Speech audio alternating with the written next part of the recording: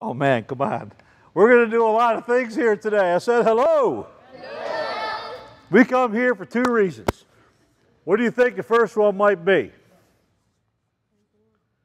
We come here, number one, to praise the Lord and to learn about the Bible. That sound fair? That's why we come. We come here for a second reason too. You know what we come here for? We come here to have fun. I believe that God has no problem with us having fun while we're learning the Bible. Amen? Amen. Are y'all ready to have some fun? Yeah. All right, all right. I want you to make some noise today. I want you to get ready to make some noise. We're going to teach you a song about dinosaurs. Now, we all danced with you just now, okay? I didn't know them. I'm going to teach you a song about a dinosaur. Is That fair? We're going to get you up out of your seats. We're going to have, we're going to have a lot of fun. Uh, my, my name again is, uh, is Pastor Dick Webster, but uh, they just I go by a simple name. They call me Dino Papa. You know why? You know why I think they may call me that name? I love dinosaurs. How many here like dinosaurs? I, I'm telling you, I love dinosaurs. But you know something, kids? There's one bad thing about dinosaurs, and that is they've been used by the devil as one of the biggest lies that has ever been told. They've been used by the devil uh, to trick people into questioning the Bible. I noticed earlier, Miss Sharon, Pastor Sharon asked, asked you a question uh, about how many of have ever read about dinosaurs. You know something? Most people don't even know that dinosaurs are in the Bible. Most people don't even know that because they're not called dinosaurs in the Bible, they're called dragons. And the reason they are is because the word dinosaur is a relatively new term. Uh, it's not old. It was only invented about 100 years ago. So when they wrote the Bible, they didn't even know what a dinosaur was. They just called them dragons. Uh, we're going to do some things today uh, that's going to be it's going to be a lot of fun with y'all. I'm going to teach you some things. I hope anyway. Y'all ready to learn today? Come on, we got to get excited now. You ready to learn? All right, all right. We are Cave Ministries, and I want to thank every one of you for inviting us out here today. We love to do this. We love to come out and talk about dinosaurs and talk about creation, talk about the stars. When we get done here today, kids, we got some dinosaur stuff over here. We got a Noah's Ark. You're welcome to look at all the stuff. Uh, we might even have a couple goodies laying around. We're going to have fun today while we do this. Now, there's one thing that you get to get real active with, okay? Uh, before I even get started, how many of y'all have ever heard of the word evolution? Who can tell me something real quick about evolution? What do you think it teaches? that we were what? We weren't humans at the beginning. Okay, yep, exactly right. Uh, that's probably it in a nutshell, actually. Uh, they teach you, we came from monkeys. How many of y'all think we came from monkeys? Okay. I've checked my daddy and my grandpa, and none of them look like no monkeys, but we'll get into that later on. Number two, they teach you about something else that is a lie from the beginning. How old do they teach you the earth is? Have y'all ever heard of millions of years or billions of years old? Well, today, every time I use the word millions, this is how I check if you listen or not. Every time I say the word millions of years or billions of years, I want you to yell out, Lie. Lie. I want you to yell it out at the top of your lungs, and maybe I'll quit saying it. The millions of years. Lie. We're getting, we're getting good. We're, good. We're, we're on target here. They teach you these things so that you'll not believe your Bible in some ways. And what they do is they take the dinosaurs and they go way back with them, and that they teach you that, oh, about 60 million years ago, dinosaurs went extinct. How many have heard that dinosaurs don't live no more? They're all gone. Well, how do they know that? Did they ask you if you ever saw one? Did they ask your mom and dad if they ever saw one? Well, how do they know if you never saw one? You see, they don't, know that they're extinct. In fact, the interesting thing is, and we may talk a little later if we get a chance, dinosaurs may very well still be alive. We believe they are. They're not as big as they used to be uh, because of our air, but the fact of the matter is, kids, dinosaurs may not be extinct at all. And we're going to show you a couple things about dinosaurs. Let's uh, let's talk about first. I like to. Uh, we've talked about evolution and, and, and, the Bible. The Bible teaches something very different. Uh, evolution teaches us one thing. The Bible teaches us something else. The Bible says that in the beginning, God created the heavens and the earth. Uh, I want you to all say that verse with me. It's Genesis 1 1. In the beginning, God created the heavens and the earth. Say it with me one more time. This is our verse, our keynote verse for today. In the beginning, God created the heavens and the earth. We believe something very different. I do not believe you came from a monkey. I do not believe your parents came from a monkey. I believe that monkeys are monkeys, and I believe that people are people. And I think God created you just like that. But you know what the really cool thing is? You know how special that makes you? I don't care how much money you got. I don't care about where you live. You know something? Because you're a person, God finds you to be very special. And a lot of folks say, well, uh, maybe when do we turn special? Do we turn special at 16 years old or maybe at 18 years old? Oh, no. You were special the day you were born. God created you, and God puts you together, and God puts you together for a very, very specific person purpose. In the beginning, God created the, uh, the heavens and the earth. On day six, kids, God's created man, uh, the animals and man, and that includes the dinosaurs. The Bible says that God created the great beasts of the field. We believe in our ministry that that's probably the day that dinosaurs were put together. Uh, he talks about the whales that were created in the sea, a couple animals he mentions specifically. But how big is a dinosaur? Give me an idea. How, how big do you think a, di a dinosaur actually is? How big? Huh? Think they're pretty big? I think they're pretty big. How big? Bigger than two football fields. That would be a humongous dinosaur. But that's, that's the whole idea. A lot of people picture dinosaurs as being really, really, really big. And some of them were really, really, really, really big. Some of them uh, weighed as much as 14 school buses put together. Now, how many think that's a big animal? That is a real big animal. Let's take a look at our first dinosaur. Who can tell me what this is? Man, there's a man right there. Somebody get him a shirt, man. That's get this boy into ministry. This is a Stegosaurus. There's a couple things about a Stegosaurus that are very interesting. Uh, first off, if you notice up here in the picture, kids, Notice these spikes back here in the back. People think, well, that was a pretty mean animal. No, actually, it wasn't a mean animal at all. Uh, we, we believe that what those spikes were used for were for defense. They actually defended. What's he got? Uh, what's going to happen if a, if a T-Rex comes by and tries to take a bite out of him? Hmm? He, he, there you go. And that T-Rex will go running away. Ain't getting no bite out of me, buddy.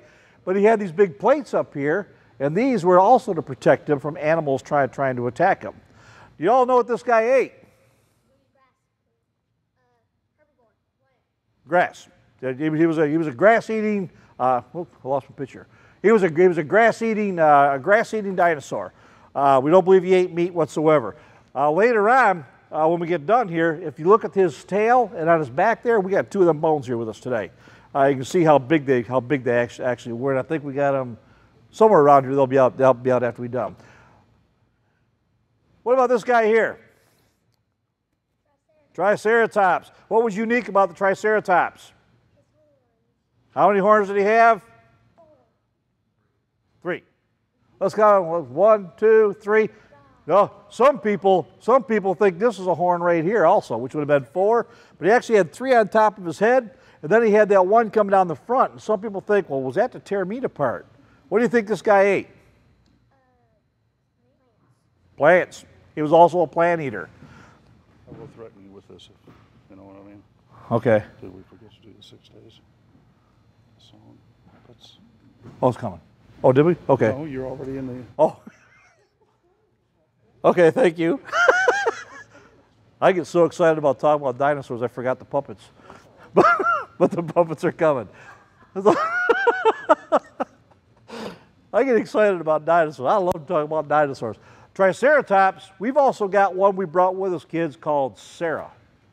She's, she's back here. There she is over there. Sarah, you'll be able to pet her later on. She'll growl at you. She'll look at you. If you tickle her on the side, she'll turn and look at you. Uh, Sarah's pretty cool, but that's our little that's our little Triceratops. So right now we've talked about how many days did it take God to create everything? You remember? Six. And on the seventh day, God rested. But this is a good this is a good group right here. Uh, six days it took God. So let's listen to our puppets now sing you a song about in six days.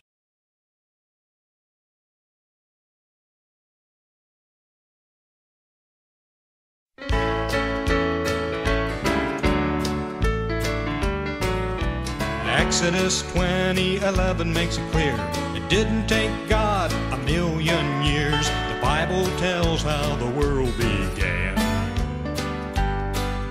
Skillfully created by the Master's hand. For in six days he made the heavens and the earth, the sea and all that is in them.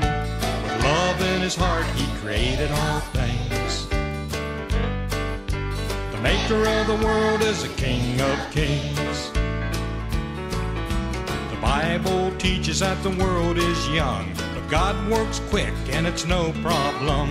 Then he rested when he was through. He created the week for me and you. For in six days he made the heavens and the earth, the sea and all that is in them. Love in his heart he created all things. The maker of the world is a King of kings.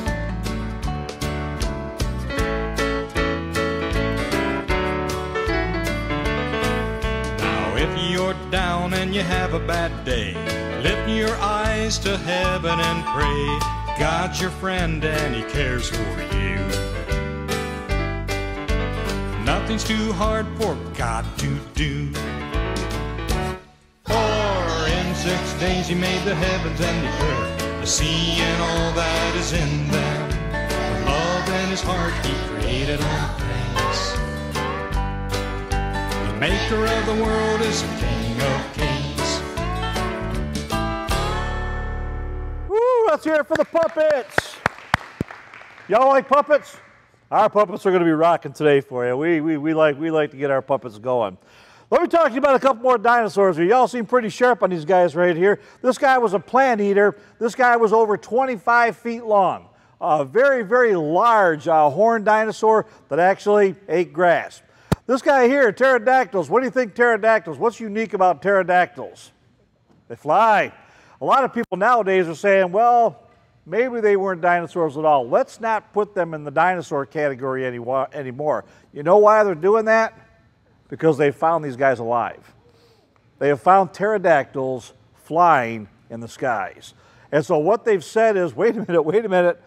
Dinosaurs went extinct 60 million years ago. Dinosaurs are extinct. They can't be flying, so, but we know they are, so let's not make them dinosaurs anymore. Is that silly? That's goofy. It is a dinosaur. He's just a flying dinosaur. Some dinosaurs were in the water, some dinosaurs were on the land. They're all in the same category. These guys are very, very interesting animals. These were definitely meat eaters uh, by the looks of their mouth and stuff like that, what we can tell. Uh, their size went from just a few inches, very, very small birds. They went all the way from there to over 40 feet long. Uh, 40 feet long would be almost probably white line to white line, and this thing here would be his wings. Very, very large birds uh, that, that, flew through the air. Uh, many of them called them the large black bats uh, that, that they've, they've actually found these guys doing. Uh, pterodactyls, if you ever hear that, uh, the reason they're trying to decategorize them, kids, is because they don't want them to be called dinosaurs anymore because they think they may be living. Here's T-Rex. How many of you ever seen T-Rex? What's your favorite dinosaur? Is it T-Rex? T-Rex is usually the favorite of everybody. How many like the long-necked dinosaur? I like I like long necks too. I think long necks are really really cool. Kind of kind of wish I had one of these guys in my backyard. I think it'd be pretty cool to do. Um, T-Rex was definitely a meat eater, no doubt about that. T-Rex was as big as 20 feet tall. That would be almost probably as big as that bounce house when it was blown up. Uh, would be probably very, very close to 20 feet tall, almost to the ceiling up here. Uh, would have been the size of a T-Rex.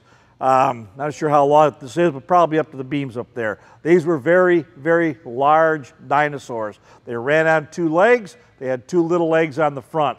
Uh, but isn't it interesting that God created all of the dinosaurs for also very specific purposes? They all did different things. They all ate different things. And what would have been neat to live back in the day when possibly dinosaurs were actually out there walking in your back. You, you said, "Oh no, no, I'm I'm good where I am, right? you know, I'm real good." You, you think about this though, when God created Adam and Eve, okay, He created dinosaurs on the same day. How many of y'all got a dog in your backyard, or cats? Yeah, you know what? You know what Adam had? A couple T Rexes, a couple long necked dinosaurs. They were just created. They were, they were, they were in Adam's backyard. The beauty is none of them ate meat back then.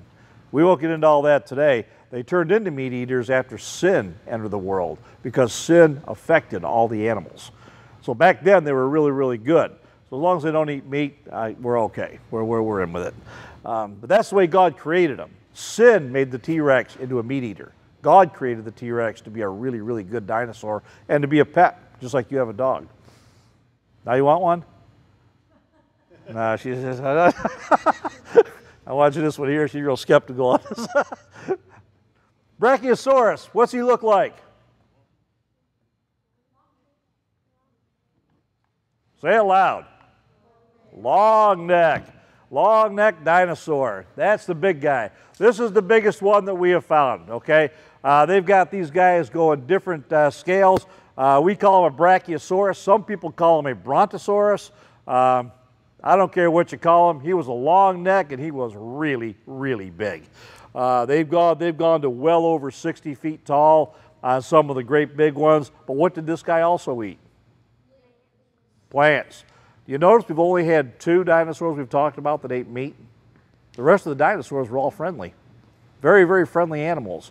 And we also talk about the big dinosaurs, don't we? How big do you think the average sized dinosaur actually was? Take a guess how big you think. Put all the dinosaurs that God created together, how big would be the average of them? 30 feet? Okay? Anybody got any ideas? Most people, 30, 40, uh, some people say maybe 20 feet, 25, because every dinosaur you see, how big is he? He's huge. The average sized dinosaur was no bigger than a goat. Most dinosaurs were actually very small animals. They're very small. The ones you and I always talk about are the really, really big ones. But I like talking about them. You know why? Because we're going to do a song here in just a minute about a long necked dinosaur that was found inside the Bible. How many of y'all heard the book of Job? The book of Job. Job teaches us in Job chapter 40. Uh, how many of you can speak Hebrew? None of you? Now let me teach you some, okay? You want to learn some Hebrew? Behold now behemoth, which I made with thee, he eats grass as an ox. Y'all say the word behemoth. behemoth. Behemoth. You have just spoken your first Hebrew word. The word uh, behemoth is not an English word. The reason it's not an English word is they didn't know what behemoth was. They couldn't identify him. So they said, I don't know what it is. Let's just leave the word alone. We'll just call them behemoth. That's what they called them. So that's what we're going to call them. This, we believe, with all our hearts, is a dinosaur. Uh, and, I'll show, and I'll show you why here as we go along. Lo, his strength is in his loins. How big was the legs on a dinosaur? Huge. His strength was in his, lo- his strength was in his loins. The force was in the navel of his belly. He had a big belly. Okay? He had a great big belly. Oh, that's cool. It goes on. The elephants, they have a big belly. Some people think Behemoth was an elephant. He has a big belly. Well, let's look at the rhinoceros. The rhinoceros, does he not have a big belly? Maybe it could be a rhinoceros. A hippo. I'm sorry, a hippo. Very, thank you for correct. Keep me straight, okay, kids? The hippo has a big belly also. Could he be Behemoth? Well, he also has a very big belly. So he could be Behemoth. Well, he has a big belly too. Could, could he be behemoth? Well, how about this guy? He has a big belly too. Could he be behemoth? I don't think they are. I don't think they are. But so we got to go beyond the belly. He, this guy here, said the Bible says he moved his tail like a cedar tree. The sinews of his stones are wrapped together. This guy's tail was so big, it was as big as a cedar tree, and he waved it like a tree when he waved it. Now let's go back and look at our animals. Does that look like a cedar tree? I don't think so. Uh, how about that one? I don't think that does either. But look at this guy. Do you see the tree there? All the way from the top of the tree, all the way to the base of the tree, right there. It looks almost like a cedar. And when he waved it, he would actually, uh, some of, they think maybe some small one of these guys are possibly living. And some of the uh, Africans actually tell us that if he hits something with his tail, it'll kill even crocodiles. It's so powerful. Very, very, it was nothing but one pure muscle. Uh, obviously with the bone on the inside, but nothing, nothing muscle. Very, very strong tail. And his name in the Bible, kids, was Behemoth.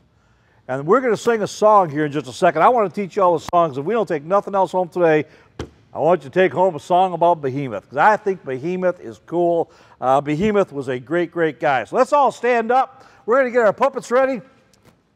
You got to help with this song, okay? You got to help me with this song. And our puppets are going to help out, and we're going to have a couple of our folks come out here and help us out too. This is what you got to do. First off, you got to be your dinosaur. Behemoth is a dinosaur. This is your dinosaur. Put your fist up and kind of drop his head a little bit. Well, you look like a dinosaur. Behemoth is a dinosaur. A dinosaur is he. He eateth grass as an ox. I want you to bend over and kind of get, you're a dinosaur now. I want you to turn into one. He eateth grass as an ox. And then stick your tail out there. His tail's like a cedar tree. Okay, we're going to have to do better than this, folks. We're going to have to do better than this, okay? Get your dinosaurs up. Behemoth is a dinosaur. A dinosaur is he. He eateth grass as an ox. Get that tail? His tail's like a cedar tree. Okay, now we're doing better. Now we're doing better. His tail's like a cedar tree. His bones are strong as bars of iron. He's chief in the ways of God. Behemoth is a dinosaur that I want you to put the meanest dinosaur face you can. A mighty sauropod. Really get that dinosaur face. Are you ready for that? Do we got something for the better one? I don't know if we do or not. Okay, here we go. Are you ready? You sing along. I'll click the words here. Watch these folks over here. They're all used to doing this. Behemoth was a dinosaur.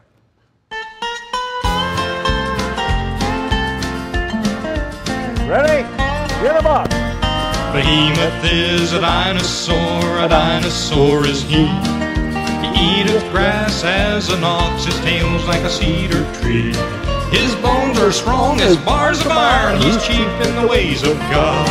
Could Behemoth be a dinosaur, a mighty sauropod? That's good. Here we go. Let's look the at the story. Bible. Let's look at the book of Job. Give us a volume. Turn to chapter 40. In verse 15, we're told of a mighty creature that Job must have known. In the jungle of the reeds and ferns, Behemoth made his home. Behemoth. Is a dinosaur, a dinosaur is he. He eateth grass as an ox, his tail's like a cedar tree. His bones are strong as bars of iron, he's chief in the ways of God. Could Behemoth be a dinosaur, a mighty sauropod? Boy, you got that dinosaur look down. Say Some say Behemoth is nothing more than this. an elephant. An elephant Or a or a hippo. But I don't think it fits. No. Because they don't have a tail like a cedar tree.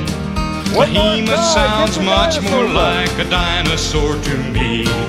Behemoth is a dinosaur, a dinosaur is he. He eateth grass as an ox, his tail's like a cedar tree. His bones are strong as bars of iron, he's cheap in the ways of God. Could Behemoth be a dinosaur, a mighty sauropod? Amen. Good deal. Good, good, good job. Behemoth is a dinosaur. A dinosaur, Job said in the book of uh, Job, chapter 40, Job said, whatever this creature is, he says, I'm going to call him Behemoth. He says, he's chief in the ways of God. He said, that is the biggest thing that God ever made. Do you think that could be a dinosaur? If he was looking at a long necked dinosaur, very possibly, I know I would say that. How about you? I, I know if it was me out there, I'd be saying, yeah, buddy, that is absolutely the biggest thing that God ever made. We're going to give a little lesson right now, but you know, uh, usually before I do this, I, I, I got a really, really good friend uh, that, that I, that, I, bring along with some of the shows I do for the kids, and uh, we, we don't let them out very often. Okay, so I want you to, I want you to bear with me, okay? We, we, don't, we don't let this guy out very often. Uh, he kind of stays in our cave laboratories and does some work for us in there, uh, does some funny things, but uh, his name is Professor Bronto. So if y'all would, real quick, I want you to put your hands together. This guy is shy, so you got to make him feel really welcome, okay? Let's put our hands together and welcome in Professor Bronto. Woo! Professor, Professor, it's good. It's good to see you. You're, you're, you're looking you're looking good. can, can you see okay today? Professor Bronto is a very, very good friend, but he's got some little things he brought in his little box over there. I was looking through some of it earlier uh, to kind of help us along with this story. So let's get started here. Let's start out first off with the two theories. What's the one theory of creation? Evolution. That's one theory. We believe the Bible. That's the other theory. We're going to talk about evolution, and I want you to listen to this story because this to me is just one of the silliest stories I ever heard. But you know something, kids? People believe it. What they say is they say this they say that about 20 billion years ago, one more time, you got to yell it out. About 20 billion years ago, absolutely nothing began to spin around. Does anybody know how nothing starts spinning? I, I don't figure that out either, but that's what they say. They say absolutely nothing started to spin. And it began to spin. And it was faster, and it was faster, and it was faster. And then it got smaller and smaller and smaller as it got down to a dot on a page. And all of a sudden, one day, bang! Professor. All of a sudden, one day, that bang happened, the whole universe started revolving around. Now, where did it come from? But that's what they want you to that's what they want you to believe. That that's how our universe started over 20 billion years ago. Then they say, well, that was all rotating out there around and doing its thing, and all of a sudden, about 4.6 billion years ago, this is what happened to the earth. The earth was well, the earth was formed and it was kind of a molten mass. And then all of a sudden the earth began to cool down and it turned into a big rock. And that rock was spinning around out there, and then it began to rain on this rock for millions of years, millions and millions. and all of a sudden, that rock with all the water turned into a hot molten mass. And what happened with that was that, that, hot molten mass turned into what we call a primordial soup. How many think the earth was one day a primordial soup? And inside that soup, all of a sudden, one day, boop, a little amoeba popped out. Now, they don't know where that came from, or they don't even know how it got there, but this little guy popped up out of the out of the primordial soup. And you know what it started to do? It started to have babies. We don't know how it had babies either. It was the only one out there. But all of a sudden, it began to duplicate itself. And all of a sudden, that little guy turned into a fish. That little amoeba that you couldn't even see turned into a fish. That fish turned into an amphibian. That amphibian got out walked around a little bit. The amphibian eventually turned into a reptile, or maybe a dinosaur right here. And the reptile turned into a mammoth or a monkey. They call that the farm rule. That's what they label it now. You'll see that in your textbooks, kids. It's called farm. Fish to amphibian to reptile to mammal. And you know what the monkey turned into? You. Yep. That's what you used to do, kids. you used to crawl around trees and eat bananas. You're walking around in the jungles and the forests out there. That's what they want you uh, to believe. They go on and they say that about, uh, about three million years ago, that all of a sudden that monkey turned into a man. And that's how each one of us was created. It started from absolutely nothing, it began to spin around, it blew up, and things began to evolve, things began to turn into other things, and eventually you appeared. But you know something? I got another story for you. I got another term for creationism, for how you were created. The Bible tells us that 6,000 years ago, oh, we're not millions now. they're sharp, man. They're, sharp. These are not millions of years, these are thousands of years old. The, the earth is actually very, very young. The earth is not millions of years old. The earth is actually only a couple thousand years old, a few thousand.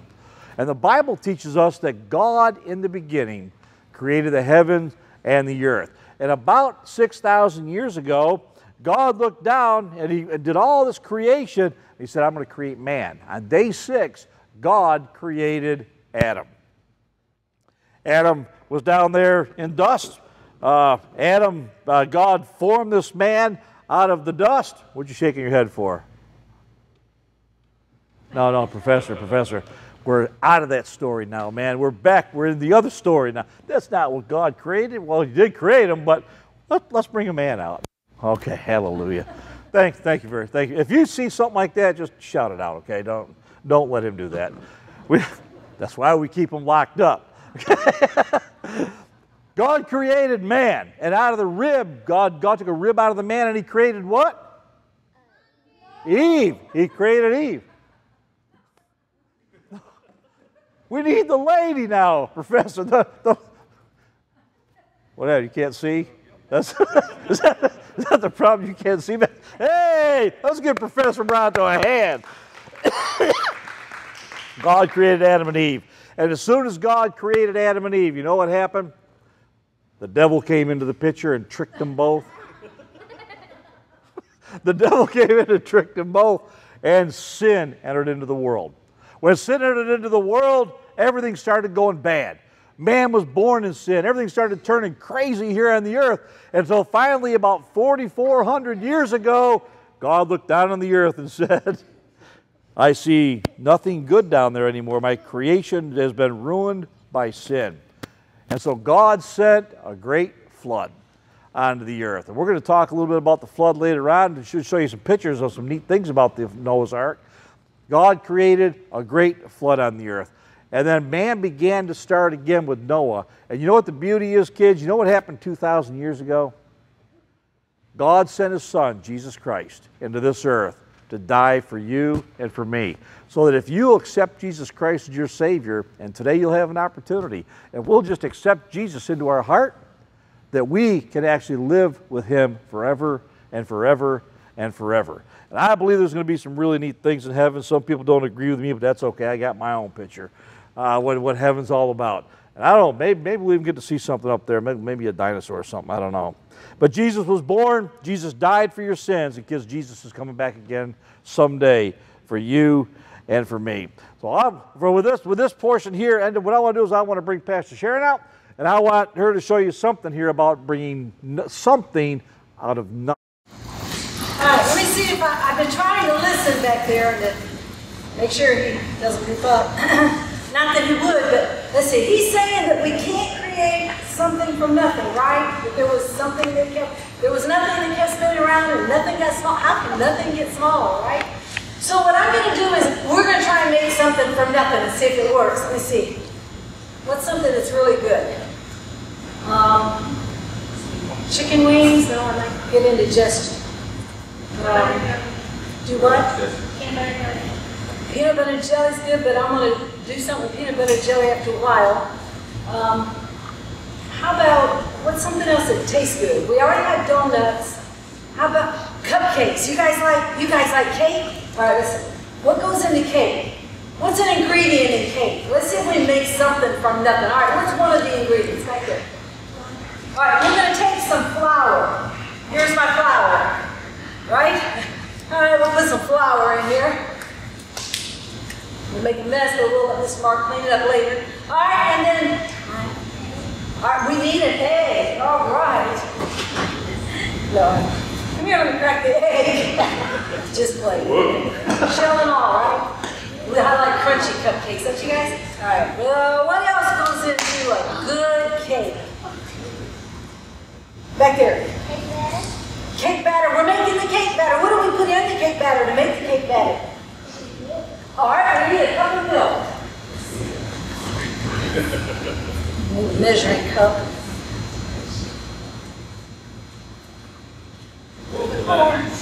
Okay. You gotta be just right, because you know, you don't want it to be too fluffy or too flat.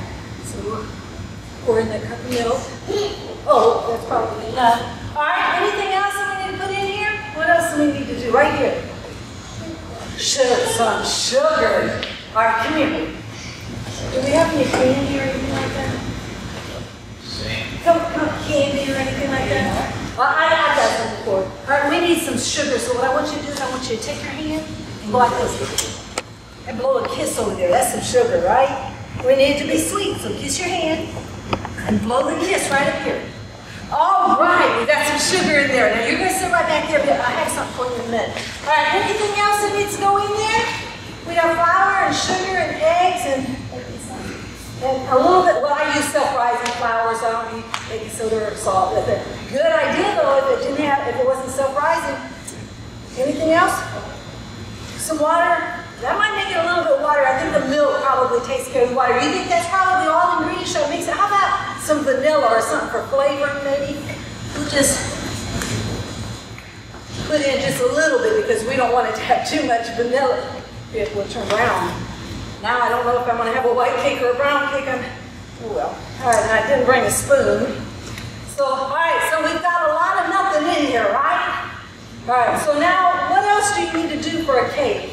All right, you're going to put it in the oven, and then what are you going to do? Do I need to turn on some heat? Yes. I like the oven. Oh. Don't play with fire at home, it burns, right? All right, so you think it's in long enough? How long do you cook nothing? Nothing. nothing. You don't have no time at all, right? Nothing's done soon.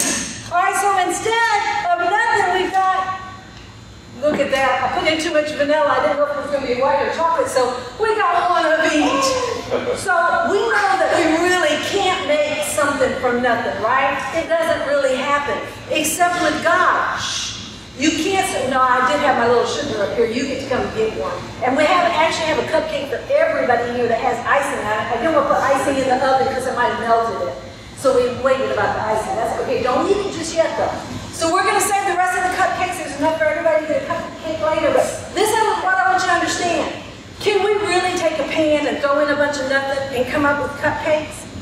Well, in the same thing with creation, you can't take nothing and swirl nothing together and squish nothing up and all of a sudden you have man. It doesn't happen. It happens when God speaks it. God can speak things into existence that's not there. Just the voice, just his command, let there be light and there's light. Just his command, let there be grass and there's grass. We can't make something from nothing. We have to have something to build on. Even people that invent things and create things, they have to have something in their hands to create that with, don't they? They have to have something. Where did that something come from? From God. God is the only one that can create something from nothing.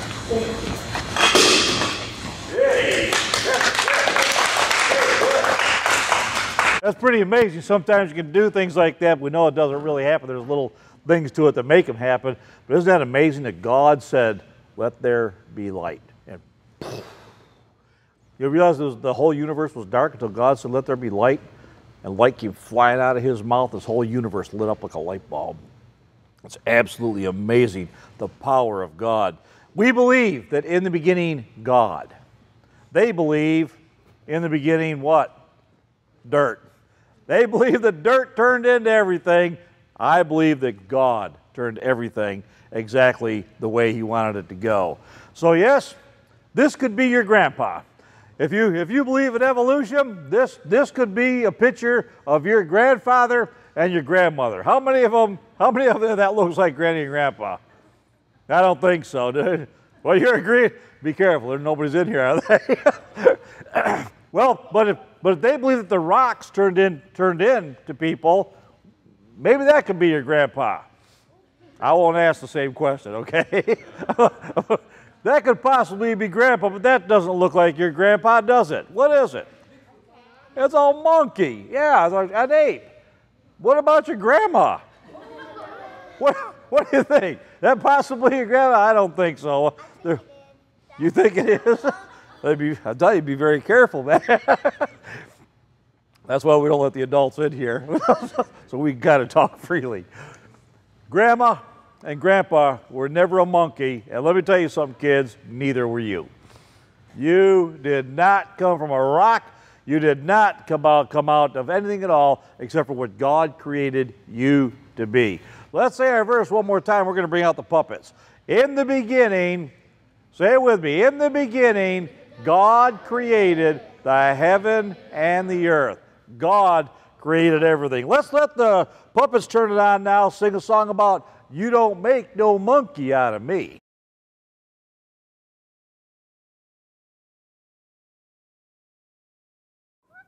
Keep that monkey quiet. Well, a monkey's hand looks a lot like mine. His eyes and his ears show a great design. I might like bananas climbing up tree, but don't you make a monkey out of me. Sing it with me, children. Don't you make a monkey out of me. Don't you, don't you, don't you, don't you. Don't you make a monkey out of me. Don't you, don't you, don't you, don't you. I am not an accident. Fell out of some tree, so Don't you make a monkey out of me. Now keep him quiet. I have ears to hear the Lord, hands and feet to walk within His word. I have eyes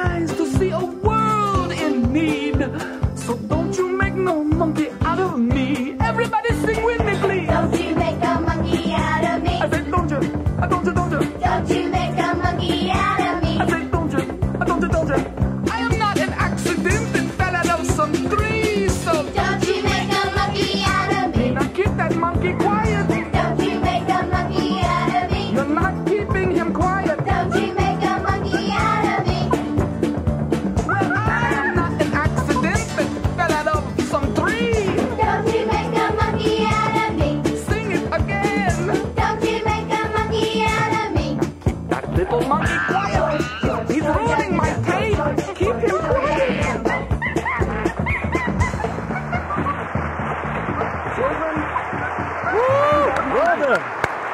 puppets, man. Y'all like puppets as much as I do? I, I love, I, I love me some puppets. So in the beginning, God created the heavens and the earth. God, God looked down and God said, Let the earth bring forth the living creatures after his kind, the cattle and the creeping thing, and the beast of the earth after his kind. And God said, And it was so. So everything that God spoke into existence, he said exactly the way it was. I could share some things with you about some really neat animals, but we're not going to have time for all that today. God said that in exactly six days, He created the heaven and the earth, and He said everything that's in them. Now, how many of y'all believe that we find dinosaur bones? Y'all, are y'all with me? We do. We find dinosaur bones all the time. Okay? So, were dinosaurs ever alive? Absolutely. Dinosaurs lived on this earth. There's no doubt about that. But God, God said that in six days He created everything that was in the earth. So God had to create dinosaurs on that, on that day, which means we tell you Adam must have seen dinosaurs. Adam had to have seen dinosaurs. They lived with Adam and Eve. God created Adam and Eve and all the animals, including the dinosaurs. And yes, one other thing dinosaurs were on the ark with Noah. Have you ever seen a picture of the ark? One thing you'll never see, look in the pictures real careful, you'll never see dinosaurs. Because people have tried to take the dinosaurs away from the ark. Now, how old, do you know how old Noah was when he built the ark?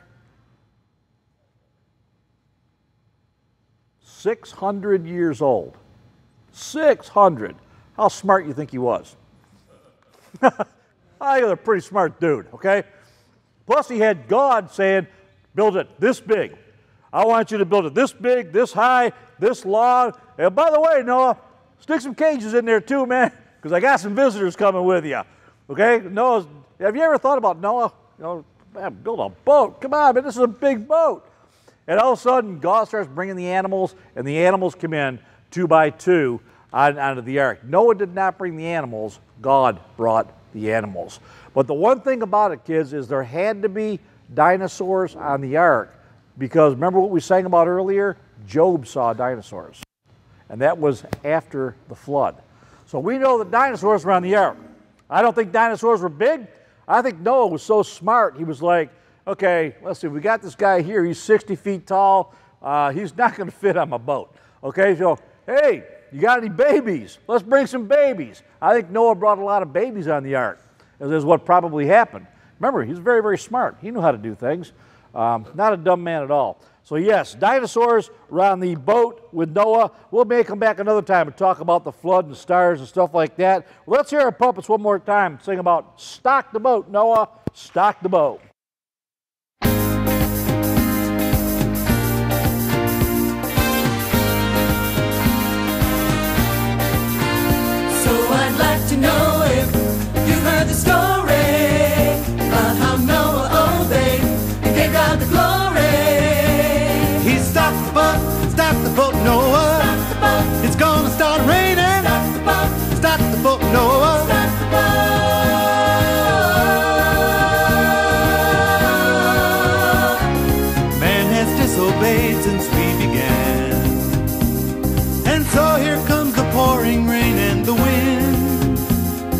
Ark will float upon the rolling sea.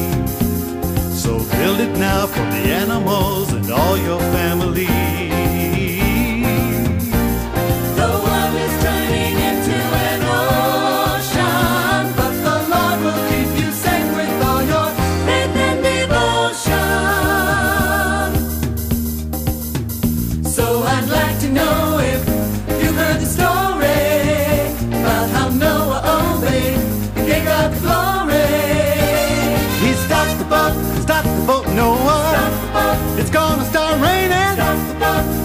Boat.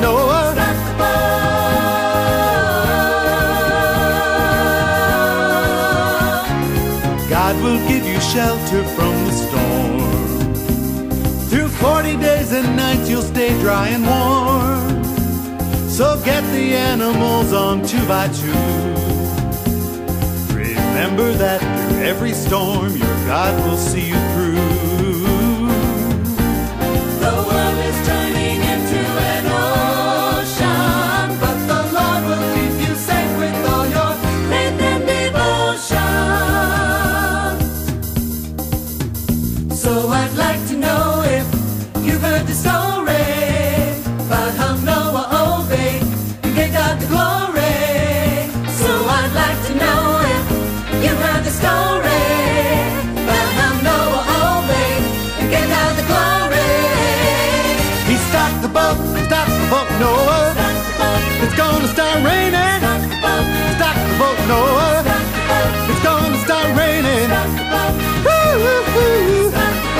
Obey what the Lord says. Get on with your family. Come on, old Noah, stop the boat. Woo! Stock the boat, Noah. yeah, we always talk about Noah brought all the animals and put them on the ark two by two, but who really brought the animals? God brought the animals. Noah's job was to build the ark. And you know what the interesting thing is, is that God was already inside the ark, waiting for waiting for him and waiting for all of the animals. In the beginning, God created the heavens and the earth. I want you to understand something, kids. As long as you're going to school, as many, many that are out there now, they're in the books. They're not teaching this anymore. They want you to believe in that goofy story I just told you about this evolutionary thing. They say because the fins look like our hands, well, maybe they all came from the same thing. No, they didn't. God gave you five fingers and He gave the fish five bones in his fin. But you know what He did with the fish? He covered them all up. You know why? Because the fish has to swim. The fish needs a good swimming thing, whereas you, we only go in the water kind of have fun. We don't have to be in the water, do we? So you don't have to have covered up things. Because these things are being taught, they're being taught to all of these, all the different school age kids now. I want you to remember, I hope that one thing you've learned today is in the back of your mind, you know that God created everything and God created you to be very special. But in the midst of all of that creation, you can look out the stars now. You can see the things David saw. You can look out at the trees. You can look out at the forest. You can look out at the oceans and look at and see all the fish. The traces of God's hand is in everything. You, everything you see out there, it's like, wow, man, I mean, God did that. And you begin to see how big God it is. So I'm going to bring Pastor Sharon out one more time. She's got another little thing to demonstrate to you. You know, I always, I've learned that uh, when Pastor Dick is speaking, I need to bring my lunch with me because he gets a little, he like, he got, it takes a while. So I, I like peanut butter jelly. You guys like peanut butter and jelly sandwiches? Yeah. I might have enough to share, but I know that I brought my jelly. And uh, I just seem to I'm missing something. I don't have a knife. It's kind of hard to get it out and spread it without a knife, isn't it? You know, I saw this done one time, so we're going to see. Uh, maybe we can do it again. We'll see. Let's see. What do I got? Do I got my jelly? I got my peanut butter. All right. Let's see. Yep. Got my peanut butter. Grape jelly's always better than peanut butter. So I got my peanut butter I got my jelly. I got my bread. Let's see. So, two slices. I'm not going to do a double decker today. Put it in here, keep it fresh. Close this up so I can have it later. Now, how is it that I got to do this? Looking good already, though. All right, I gotta get my jelly and I gotta get my peanut butter. I gotta get it all on my bread. Oh, I know. I gotta put it in a in a lunch bag, right? Take my sandwich, put it in the lunch bag, and then I gotta get my knife. Got my knife here somewhere. No, we're not gonna worry about a knife. I'm gonna, let's see, do I have somebody that can help me? I don't even have my tape or scissors or, Katie, can you, out? Can, wait a minute, can you follow instructions? Are you sure you can follow instructions? I better see if I can find my knife. I don't even have tape or scissors, so come on up here and let me help you. We've got our sandwich in here, right? Our bread. We gotta get that peanut butter and that jelly over here. You're gonna on that peanut butter and jelly. Now let's see, if can get this done right, I need you to hold this just right here. See, turn this way. You gotta aim it just right. Move this out of the way. All right. What we're gonna do uh, Miss Suzanne Archibald has given me a wonderful word. I just love it. It's called woohoo. so we're gonna do that in just a minute. So we've got see, there it goes. All right, so we've got our jelly. And we've got over here, we've got our peanut butter. And we've got to figure out how to get the peanut butter and the jelly. I tell you what, first of all, let's see if we can just practice a little bit. We're gonna switch them. I'm gonna make that peanut butter fly over Katie's hair. It's washable and over here where the jelly is, and we're gonna take the jelly and we're gonna let it fly right over his head, and it's gonna go over here. You guys wanna see this? Yeah. So do I. Okay, here we go. Uh-huh. We're gonna say, watch it. Okay. Woohoo! All right. So now we've got the peanut butter's over here and the jelly's over here. Isn't that wonderful? And I bet you I can switch it back too. Watch this. Woohoo! See, there was my jelly. And there's my peanut butter. They switched back. Isn't that wonderful? Doesn't like that, did you? All right, oh. let's see if we can try this a little bit different. We're going to do two whoos because we got the peanut butter's going to go from there and it's going to come over here. And the jelly's going to go from there and it's going to go over there. And somehow we're going to make a peanut butter jelly sandwich. Well, I'm hoping somebody's helping me. All right, so we're going to do two hoo-hoos. Here we go. Are you ready? Tell you why don't you help me do the hoo-hoos? Ready? We're going to do two hoo-hoos. I'm going to do one and you're going to do one. That'll work, right? I'm going to get out of the way because I don't like jelly in my hair. All right, here we go. I'm going to say one hoo-hoo and you're going to say the other. I'm going to say hoo-hoo for the peanut butter. You're going to say hoo-hoo for the jelly. Are you ready for hoo-hooing? do you know what you're supposed to say? Okay. Oh, no, no, no. You got to do better than jelly. You're gonna, you're gonna end up with jelly all over your hair, but all right, let's see if it worked. That was a sick move. All right, so over here we should have what? All right, we've got our jelly, and over here we should have what? We should have our peanut butter, and in here we should have, let's see what we've got. In here we should have, open it up and see what's in there. We have a peanut butter and jelly sandwich. All right, baby. You know what it is. I'm gonna give you this, and you can take that home and eat it later. Okay? All right. Now listen. When the peanut butter and jelly switch places, you didn't get it in your hair, did you? All right. You don't have to wash your hair this time. When the peanut butter and jelly sandwich switch places, we see what happened to that switch because it ended up on the sandwich, and we see those traces there. Well, in the creation of all creation, God leaves his fingerprints everywhere, and we see God's presence in everything that he has made.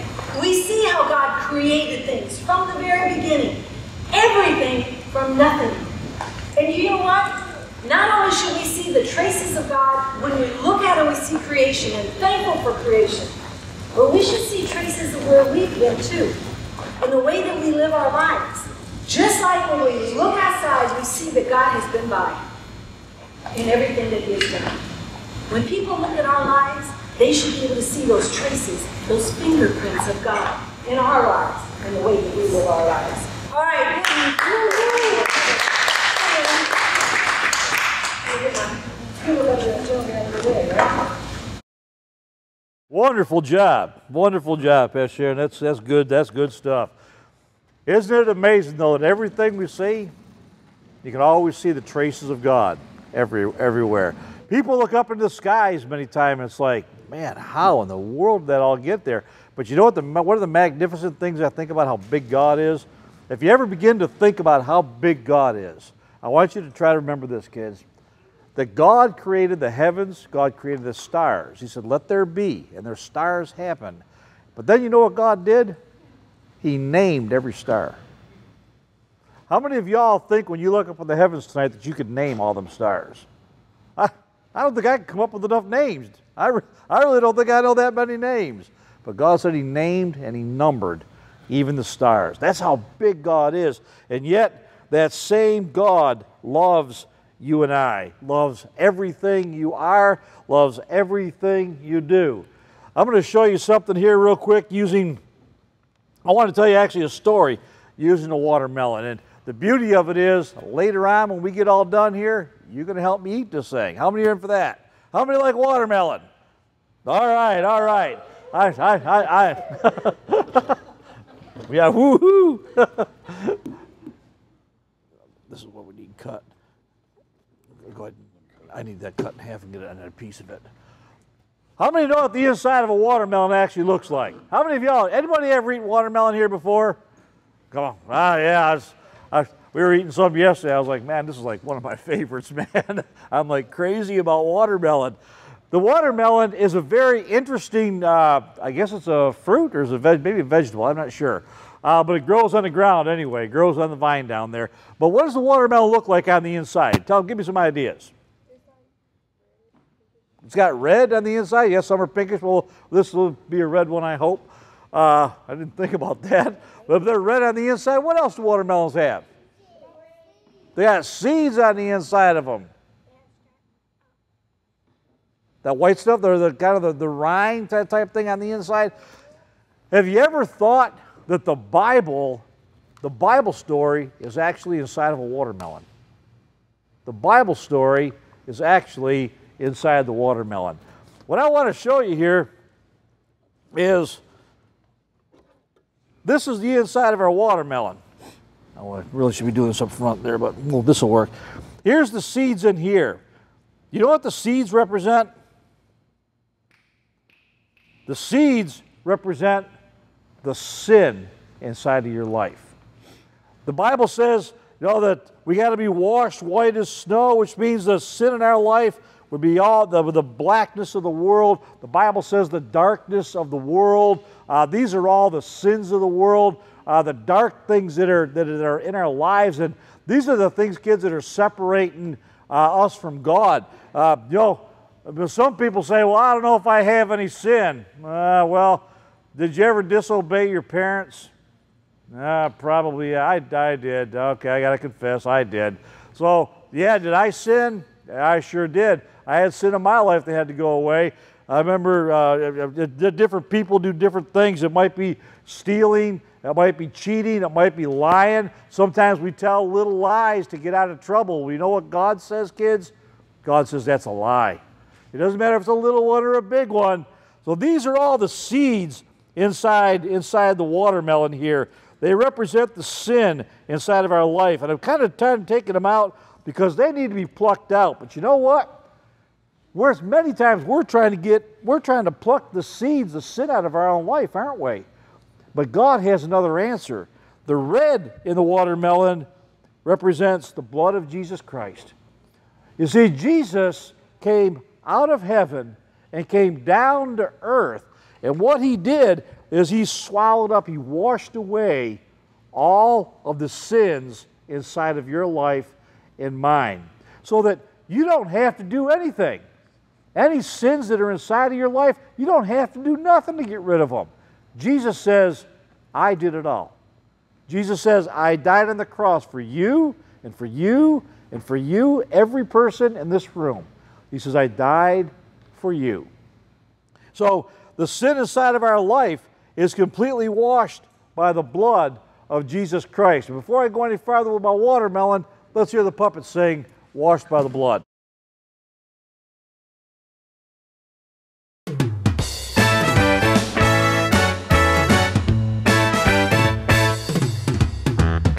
Let me tell you how my Lord gave me joy and peace and more, like I've never known washing my sins away. Now I'm having lots of fun, got the devil on the run. Man, I'm glad I met God's Son, washing my sins away. He's blessing, healing.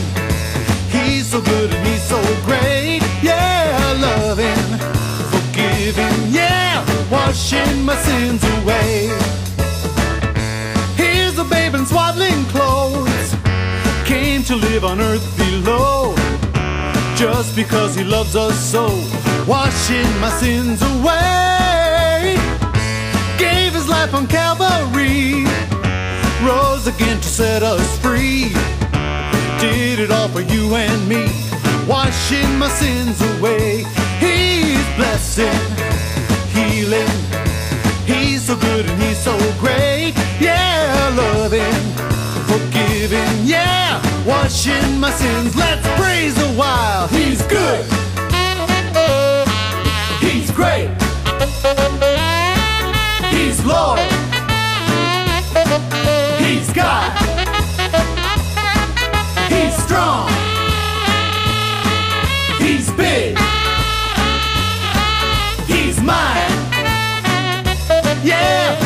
Washing my sins away.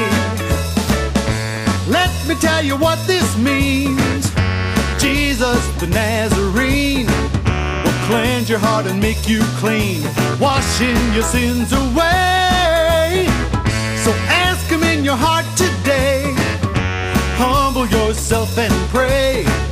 He'll come into your heart to stay, washing your sins away. He's blessing, healing. So good and he's so great. Yeah, loving, forgiving. Yeah, washing my sins away. He's blessing, healing. He's so good and he's so great. Yeah, loving, forgiving. Yeah, washing my sins away. He is blessing, healing. He's so good and he's so great. Washing my sins away. Hey, for the cave puppets. Hey. Let's get back to our watermelon for just a couple minutes, kids. You know, if our sins are, if our sins, let's start cutting that up. Our sins are, are, are, are represented by the seeds. The blood of Jesus Christ came down and washed our sins away to set us free. Remember, kids, there's nothing you have to do except to accept Jesus into your heart. There's nothing you can do for your salvation. But the beauty is, all of this, you notice, is wrapped in a white rind because as dark as our lives may look with the sin inside of it, when the blood of Jesus Christ comes into us and washes that sin away, when God looks at you, he sees your soul white as snow, the Bible tells us. And when we become white as snow on the inside, kids, on the outside, the green represents a new life. We can now live a new life because everything on the inside has been washed white as snow by the blood of Jesus Christ. I want you all to bow your heads for one second with me, if, if you would. We, we've talked a lot today about dinosaurs. We've talked a lot about creation. I love to talk about these things, but the most important thing I want to talk about today is salvation. And I want to know is anybody in here, with all, all your eyes closed, nobody looking around? I don't want you looking at me. Don't look at the dinosaurs. Just give me one minute here, kids. Has anybody in here ever not accepted Jesus into your heart? Or is there anybody in here that would like today to accept Jesus into your heart? He can take all the sin of your life, kids, wash it away, and make you, make you clean, make you white as snow. If anybody in here is not sure if you've ever accepted Jesus Christ as your Savior, I want you to make sure you talk to me or Pastor Sharon uh, before the day's over. Either one of us can walk you through it and tell you how to do it. It's so simple how we do it. But Jesus Christ came, He died for you that you may have your sins washed away forever and ever. Pray with me now. Father in heaven, I pray, Father, in the name of Jesus Christ of Nazareth. Lord, I thank you for these kids. I thank you, Lord, for the blessing that we have had today to come today, Lord, to share some of the things about creation uh, with these kids. I pray, Lord, blessings upon every child in this room. I pray, Father, that you'd help them, Lord, to grow to love you, Father, to accept you as their personal Savior, Lord, to understand what it means to truly be a Christian. Bless these kids now, Lord. I pray that you'd help us, Lord, to serve you all the days of our life. In Jesus' name, I thank you and I praise you. Amen. Amen. Let's give God a great big praise round. That's all we. That's all we actually have for today, kids. We are uh, again. We're Cave Ministries. If you ever have questions about dinosaurs, we have a website you can go to, or tell your mom and dad that you saw some guy, you know, the goofy-looking guy talking about dinosaurs today. We have a website out there that has all kinds of information about other things too.